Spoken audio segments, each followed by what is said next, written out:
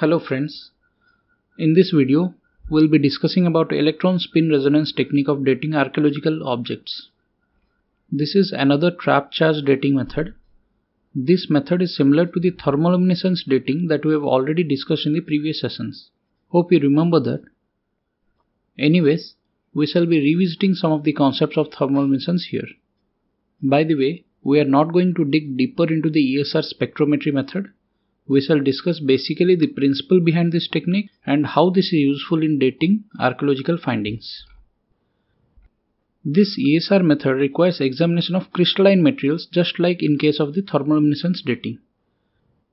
As we have already discussed in the earlier video, the crystalline materials have their atoms arranged in an ordered structure called a lattice. The lattice has imperfections or defects where the arrangement of the molecules is not perfect. That is, you can say some atoms may be missing in places, for example, creating holes in the lattice. However, the surrounding structure is so strong that this does not cause any collapsing of the crystalline structure due to the missing atoms. These defects often have an electric charge. Now we know that opposite charges attract each other. So when these lattice defects are positively charged, we can trap the negatively charged electrons in them. When a mineral is formed, all the electrons are where they belong, that is whizzing around the nucleus of an atom. Now when these minerals are exposed to radioactive radiation, like the one we use for killing of cancer cells in the hospital, electrons can be removed from the atoms and these electrons go on a journey through the crystalline lattice. Now since the lattice defects are positively charged, some of these electrons get trapped at these defects.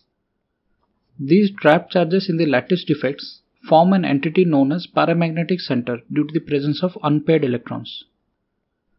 Do remember that paramagnetism is caused due to the presence of unpaired electrons in the material. So most of the atoms with incompletely filled atomic orbitals are paramagnetic. These paramagnetic centers produce a signal that can be detected through ESR spectrometry. This is the reason why sometimes the term electron paramagnetic resonance is used instead of ESR. So basically we can say that this ESR dating is based on the detection and quantification of the trapped charges accumulated over time in the crystal lattice of some materials due to their exposure to natural radioactivity. Now the number of trapped electrons in a lattice defects is directly proportional to the number of defects the strength of the radioactivity and time or you can see the age of the sample. ESR technique can be used in a very broad variety of archaeological applications covering almost any geological context. Among them, ESR dating of fossil tooth enamel, sedimentary quartz grains, and speleothems are probably the most promising since these materials are commonly found in association with archaeologically significant remains. Since only ESR can be applied to teeth, this method is used for direct dating of human fossils. So, for dating of human fossils by ESR method, we need teeth. This is because the teeth preserve the ESR signals in the hard minerals of the enamel, which is the thin outer covering of the tooth. Just for your information, enamel is the hardest substance in the human body and it contains the highest percentage of minerals, almost 96%, with water and organic material composing the rest. The primary mineral in the tooth enamel is hydroxyapatite, which is a crystalline calcium phosphate. So how can we establish the age of a tooth found in an archaeological site using this ESR method? Imagine that the tooth is a bathtub as represented in this image and the radiation flowing into the tooth is represented by the flow of water into a storage tank from the tap. Over time, the constant flow of water will fill the tank. We can measure the volume of water in the tank, right? And we can also measure the rate of flow of water into the tank.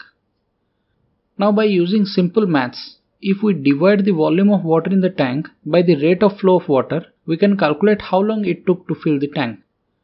Similarly, if we can determine the total dose of radiation in the tooth, which is comparable to the volume of water in our tank example, and the dosage rate, which is equal to the rate of flow of water into the tank, then we can calculate how long the tooth has been exposed to natural radioactivity.